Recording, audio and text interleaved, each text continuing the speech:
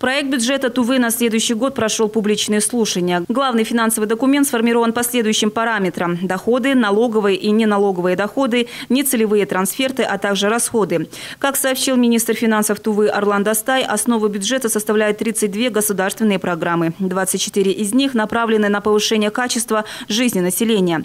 5 на поддержку отраслей экономики, 3 по направлению «Эффективный регион». Также на будущий год на поддержку агропромышленного комплекса за счет республиканского бюджета бюджета предусмотрены средства на сумму 228 миллионов рублей. Из федерального – 412 миллионов. На развитие малого и среднего предпринимательства предусмотрено 78 миллионов рублей, что в два с половиной раза больше, чем в этом году. После обсуждения участники публичных слушаний приняли рекомендации по финансовому законопроекту, который будет направлен депутатам. По информации Верховного Хурала, проект закона Республики Тыва о республиканском бюджете на 2018 год и плановый период 2019 и 2020 годов планирует рассмотреть в первом чтении 17 ноября на сессионном заседании парламента. И о курсах валют доллар стоит 60 рублей 25 копеек, евро 71 рубль 17 копеек.